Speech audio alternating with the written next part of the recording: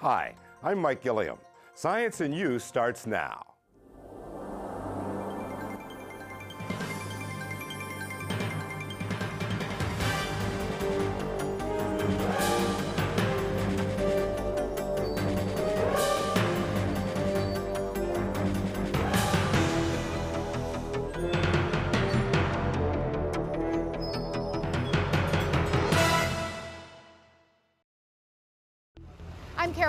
Carol Climate change, experts say it is here.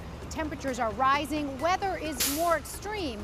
Today, a closer look at exactly what that means and what you can do about it. Ahead on Science and You. I'm Lisa Beth Kovetz. Climate change and rising sea levels. It's changing our shorelines and our lives. Ahead on Science and You. I'm Donna Hanover. When most people look out over New York Harbor and see Liberty Island, they think freedom, immigration, history. Many scientists think oysters. We'll tell you why ahead on Science and You. I'm Mike Gilliam. For decades, solar power has meant the use of those huge, unsightly solar panels. But that's changing thanks to some innovators and artists. They're enhancing solar power. We'll show you what we mean coming up on Science and You. I'm Magalie Laguerre Wilkinson. We see it and hear it every day, but we should never take it for granted. The not so simple science of weather forecasting. Coming up ahead on Science and You. I'm Andrew Falzon. Every time you make a food choice, you're not only impacting yourself, but the world around you. We're here at the American Museum of Natural History, where there's an exhibit that shows how food and the environment are connected. That story's coming up on Science and You. I'm Carol Anne Riddell. We hear about it everywhere these days global warming and our changing climate. But what does that really mean and what can you do about it? Take a look. Rising temperatures, extreme weather, melting glaciers. Many experts say it all adds up to climate change. In basic terms, the Earth is getting warmer. NASA scientists say 2012 was the ninth warmest of any year since 1880, continuing a long term trend of rising global temperatures, as you can see demonstrated here. Just how serious is the issue? Serious enough that global leaders came together in 2009 for a climate summit. For the first time in history, all of the major, uh, the world's major economies have come together to accept their responsibility to take action to confront the threat of climate change. After extremely difficult and complex negotiations, this important breakthrough lays the foundation for international action in the years to come. This progress did not come easily, and we know that progress on this uh, particular aspect of uh, climate change negotiations is not enough. Going forward, we're going to have to build on the momentum that we established in Copenhagen to ensure that international action to significantly reduce emissions is sustained and sufficient over time. At home, that means continuing our efforts to build a clean energy economy that has the potential to create millions of new jobs and new industries. And it means passing legislation that will create the incentives necessary to spark this clean energy revolution. But getting back to the basics, to understand climate change, you first need to understand what's called the greenhouse effect. The Earth gets its heat from the sun. In the atmosphere, greenhouse gases like carbon dioxide trap this heat and keep it from escaping into outer space. Trapping some heat is a good thing because it keeps the planet warm enough for us to live. But here's the problem people all over the world are adding extra carbon dioxide to the atmosphere. How? By burning fossil fuels like coal, oil, and gas for everyday activities, from driving cars and heating our homes to using computers. All this extra carbon dioxide traps more heat in the atmosphere, making the Earth warmer and causing other changes. What can we expect? As we've already experienced, potentially more powerful storms, flooding, droughts, and heat waves. And those changes can cause additional problems like the spread of certain diseases, wildfires, even food and water shortages. Looking at the big picture, we can put less carbon dioxide into the atmosphere by generating electricity from clean sources like solar and wind power instead of burning coal, oil, or gas. But there are smaller steps you can take today to help our climate. For example, drive less and use public transportation, choose more eco friendly cars, reduce energy use by turning off lights, computers, and TVs, and walk or ride your bike to school or work. It's easy to think as individuals we can't have an impact when it comes to an issue as complex as climate change, but small changes can add up to big differences for all of us. I'm Carol Anne Riddell for Science and You. I'm Lisa Beth Kovetz. Global warming, climate change, call it what you like. Our world, our city, and our shorelines are different than they used to be. I spoke to Stephen Pekar, a Queens College geologist who studies the history of climate change. He's also a hometown boy who grew up right here on the Rockaways.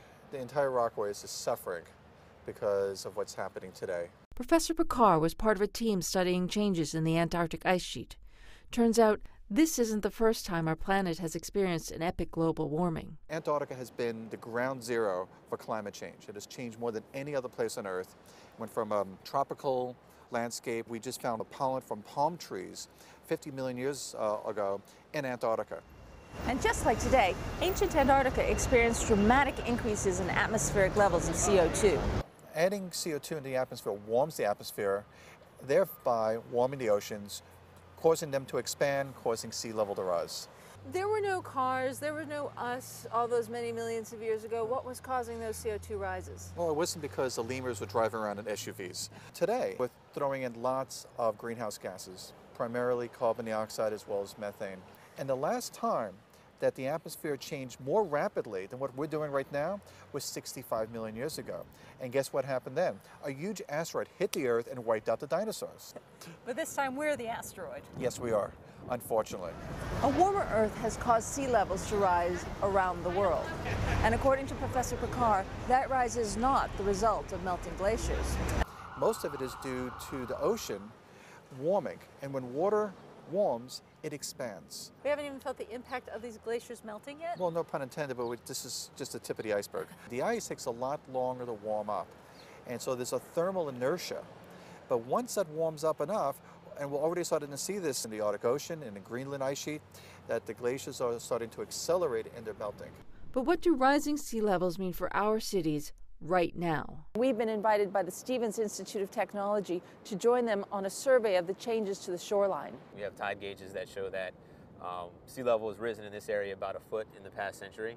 So uh, that plays a role when we have storms like Sandy. Basically, uh, the storm itself is riding on top of water, which is a foot higher than it was in the past. So thinking in terms of flooding that that may cause or where the waves are attacking, that's important. And we've been uh, at this beach in particular surveying since 2008, and the changes that we saw after Sandy uh, are significantly more than we've seen after any other storm. A lot of the low-lying areas on the New Jersey coast, now they actually flood on a, on a high spring tide because basically you have water coming up in the bays and actually rushing back up the storm sewers. The storm sewers are supposed to drain into the bay, but if the water level in the bay is higher than the water level in the street, the bay water is going to end up in the street. It just kind of pushes the water up the pipe. So that's certainly a product of climate change. When uh, Superstorm Sandy hit the New York City area, the storm surge from that was about eight feet. We were at high tide, and then we had another eight feet on top of that. And you saw the results. We're expecting sea level to rise at least three feet in this century. The world is warming up and it's going to continue accelerating. But that's, a, that's really a problem that we can tackle. We can make decisions to help us prepare for that. Right now, we have the technology to become sustainable. More solar panels, more wind turbines, more fuel efficient cars. It's great technology, it's great jobs for us if we do it. This has been Lisa Beth Kovetz for Science and You. I'm Donna Hanover. New York Harbor was once home to 50% of the world's oysters. On any given day in the 1800s, you could find 6 million oysters on barges tied up along the city's waterfront. In fact, Ellis Island and Liberty Island were known as Little Oyster Island and Great Oyster Island.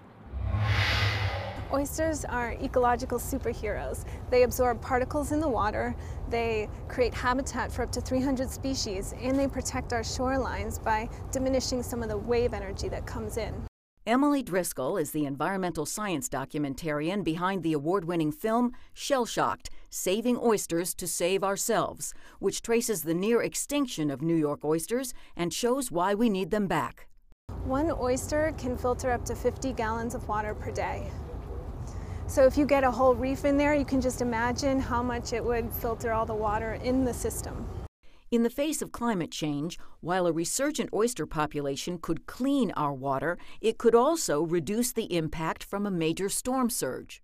The oysters provide a very crenellated, detailed mosaic of a surface that um, helps to stop the wave action and dissipate the wave action. Kate Orff is a landscape architect working to reintroduce the oyster to New York Harbor through a process which has been dubbed oyster-tecture. Oyster texture came about because um, you can't just simply reintroduce the oyster into a bay that has been dredged and shallowed and flattened, and um, and um, it's we've we've we've added these sort of hard edges to our entire coastline, bulkhead at the edges. So there's not really any room for habitat to um, take hold again. So we're working with a team. We're using this hydrodynamic model, which is a model of how water moves through the entire harbor, to study where wave attenuating reefs and protective coastal structures could optimally be placed to protect the communities that were hardest hit by Sandy. If you have a big, robust kind of reef system, then it's incredibly effective for attenuating waves. So, what happened to the oysters in the first place? Over time, sewage in the water contaminated the oysters as food and killed off many of them. In addition, dredging for commercial shipping lanes destroyed their habitat. So while you can eat farmed oysters today, wild oyster populations are currently less than 1% of what they once were. I wanted to make a film about wild oysters in New York Harbor for a number of reasons. Uh, just to show how ubiquitous oysters were and how significant oysters were to New York culture, economy, society, ecology, um, and how quickly that was forgotten. That was just the last oyster beds closed in the 1920s, and uh, pretty much we just moved on from there. New York was once the perfect location for oysters because the harbor is an estuary with the dynamic confluence between freshwater rivers and saltwater oceans. Oysters can't go out and get their food. They have to wait there for their food and particles to come to them. So in estuaries, there's a lot of tidal flow, there's a lot of particle moving, so they can just sit back and you know try to get all these particles coming into themselves since they can't move. And when those particles are pollutants, the oysters gobble them up too, cleaning our waters in the process. They really do so much for our water and for our, our whole estuary well-being but they just kind of sit there. They're a very unassuming species. You would never know like how much they do. And that's why scientists are trying to bring them back. In order to restore oysters in a significant way to the estuary, you need a critical mass of animals. Oysters like to settle on top of other oysters and create this three-dimensional structure and habitat. So if there aren't enough shells in the water, the oyster larvae are just kind of going to go floating around and they're not going to find a place for to settle and build other oysters. We're building oyster-tecture with very readily available materials, rock, shells, you know, there's ways to kind of um, build rock piles and seed them with um, spat, which are oyster kind of larvae, and um, to begin to sort of jumpstart the, the oyster um, breeding process. That it's very important that for, you know, in this brave new world of climate change and sea level rise, um, that we have to have a different relationship with the natural environment and with what we kind of put in a box that's called science. In addition to Kate Orff's team, more than 27 organizations are now working together to restore this vital cog in New York's history and ecology. Similar projects are underway in cities around the world. Why is it so important to you and to so many people to try to bring back the oyster population? In the oyster restoration, it's not just about the oysters, it's about looking to what nature originally gave us to protect us and to clean our water, to create habitat for species. It's so much bigger than the oyster. Awareness is a lot greater now than it was 10 years ago, and I think that's the first huge step in making change. While restoration efforts are still in their infancy, the future looks brighter for the New York oyster. If we can protect the oyster's habitat, we'll do a great deal to protect our own. I'm Donna Hanover for Science and You. I'm Mike Gilliam for Science and You. As solar energy comes more and more to the forefront of our lives, innovators are pushing the envelope to bring us better products. Now, one of those is Sam Cochran. He is one of the inventors of something called Solar Ivy. Sam, what is Solar Ivy? Solar Ivy is a modular system for deploying solar panels across the surface of our buildings and takes the form of ivy, the plant. Okay, so this is not your dad's solar panel. No, it's not. Uh, traditional solar panels are, tradi- are rectilinear and require a bit more to install them on the building and especially a bit more to install them on a facade. We have a very versatile system that allows for us to have a high level of customization so that each solar panel, while looking like Ivy, is optimized for that location, uh, whether it's the building's location or that location of the leaf across the surface of a building. Show me. Um, so here we have one of the first working prototypes of solar ivy, and each one of these leaves is tuned for a specific angle and rotation given a building's location on the globe and that building's orientation. So, so let's say you're on the northern hemisphere and you have a, uh, a south-facing wall. Um, that would be an ideal location for solar. But not every building has that south-facing wall. So if you're southeast or southwest, we can tune solar ivy to maximize all of your solar gain for that that surface. Does it work better than the large panels? It works uh, in the same way that any large panel would, um, only we have fragmented cells. So while a large rectilinear panel has a, a higher density of cells, um, we're taking those cells and spreading them out slightly, um, allowing us for do that, to do that angle and rotation without shading other leaves. Cochran says the design is efficient and depending on the technology, they can have many types of thin solar panels incorporated in the solar ivy, but be far more flexible than traditional solar panels. Now let's talk about the actual leaves themselves a little mm-hmm. bit. Now this is, this is actually one of the first versions of our new type of leaf.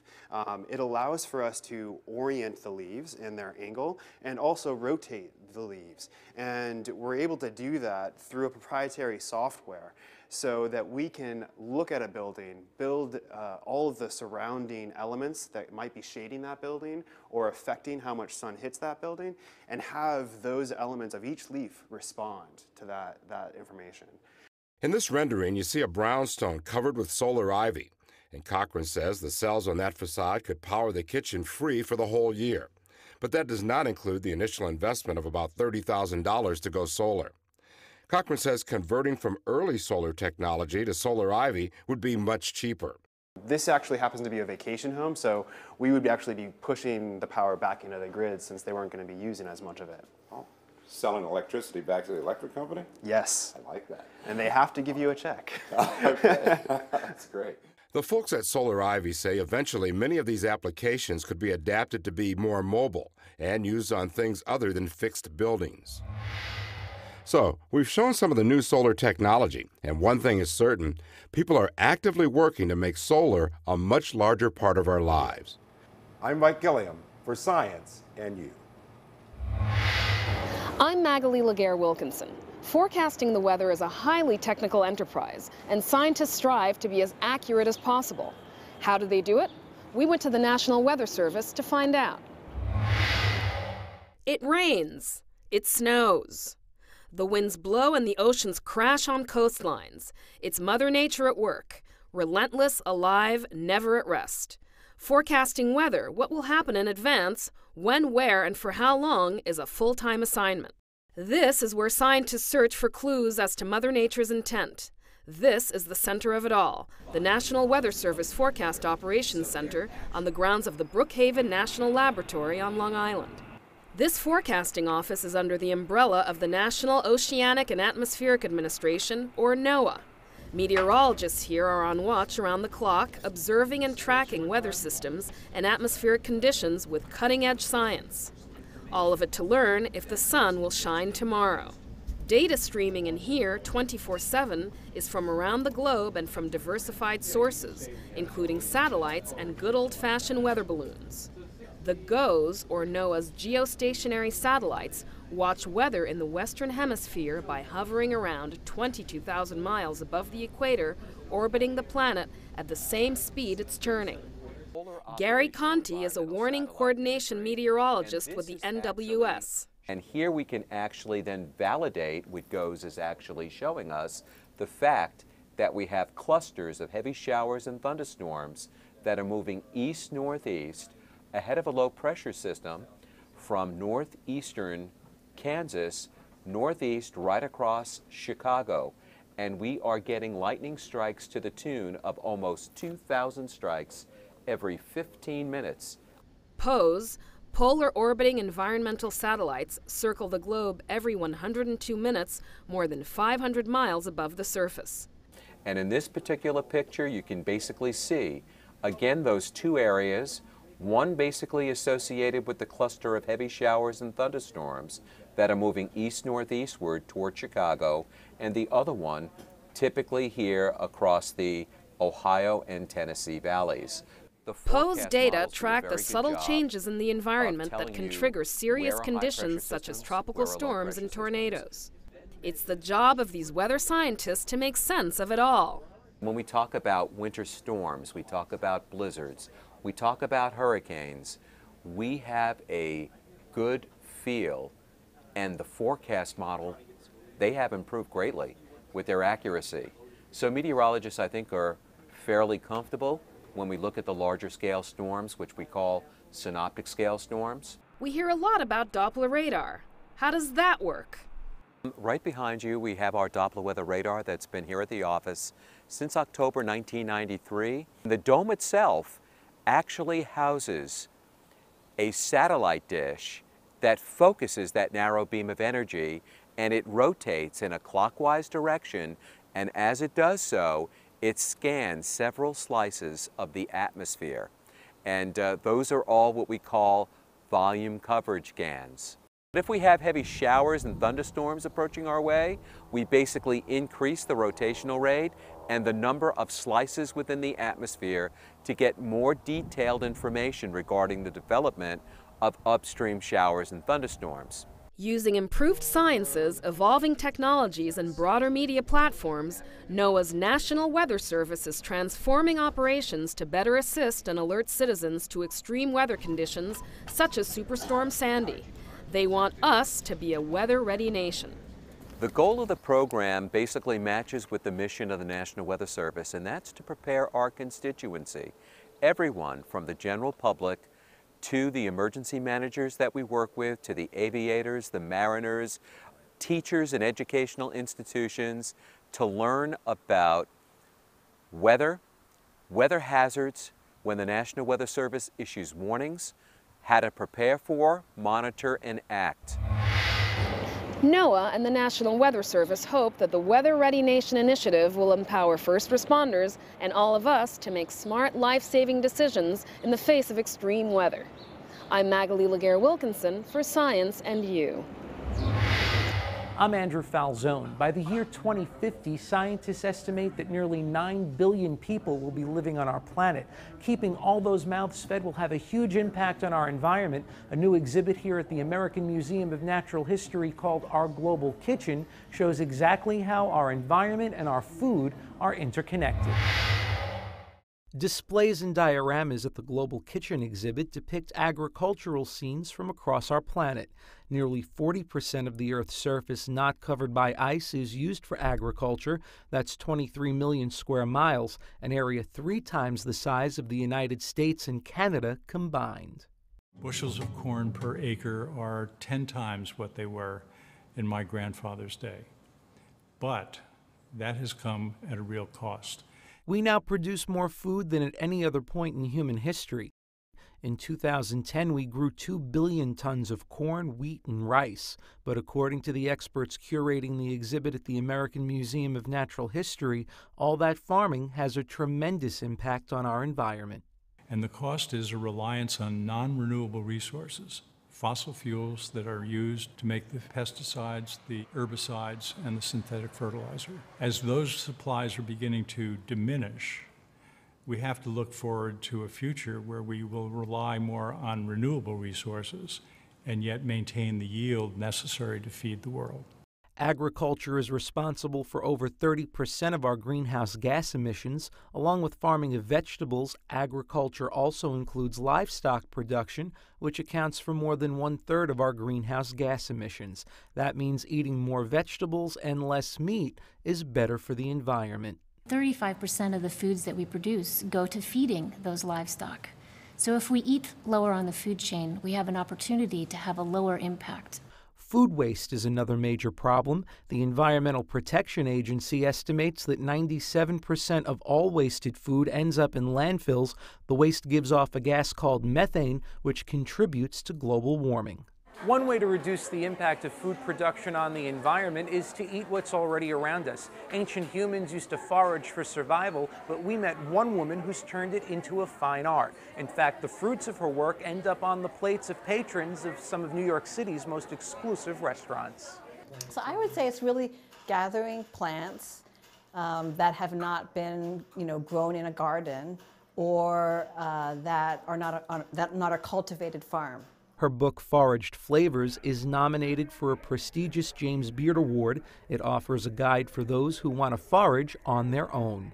I realize that people are used to thinking there has to be a picture that exactly matches that. It's not always going to match because in the in the wild things are have so much variability. It's not a cloned carrot, right? So there are pictures at the time when it is best to pick, but it also has kind of um, kind of a five easy step process. And getting started can be easier than you think. If you've picked, you know, a berry off a bush or, you know, nibbled on something, then you've foraged sometime in your life. So, wherever you are and whatever you eat, just remember that your food choices have an impact on the environment. If you want to check out the Our Global Kitchen exhibit here at the American Museum of Natural History, it'll be here for you until August 11th.